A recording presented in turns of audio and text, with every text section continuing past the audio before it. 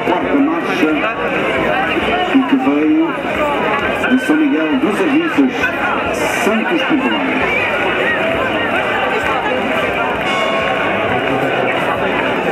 Nesta altura, desfilam na nossa cidade a primeira marcha oficial dos São Joaninas na Rua de Lisboa, a marcha das festas da praia